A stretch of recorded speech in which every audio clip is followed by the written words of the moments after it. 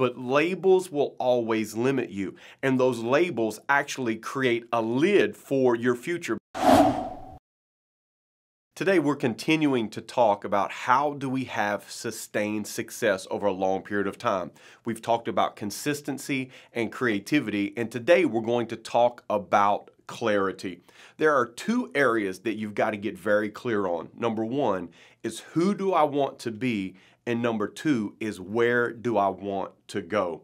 You see, you have to fight for clarity in who you want to be so you don't get stuck in just who you are today. You see, we can put labels on ourselves, even in the two things that we've talked about, and we can say, I am the consistent guy, or, well, I am the creative guy. But labels will always limit you. And those labels actually create a lid for your future because we've said you've got to be consistent and creative if you want to have sustained success. So instead, what you can say is, I'm stronger in consistency, but I'm working hard to develop my creativity because that's who I want to be.